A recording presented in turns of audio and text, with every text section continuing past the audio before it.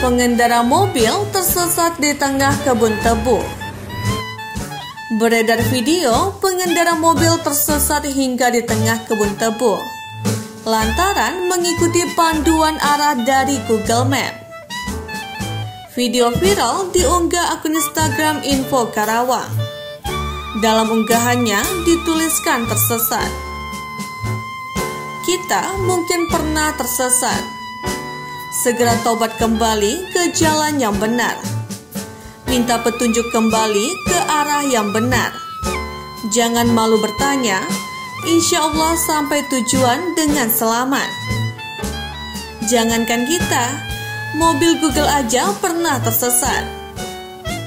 Lokasi berada di Subang, video dari Dr. Indraka tulis info Karawang.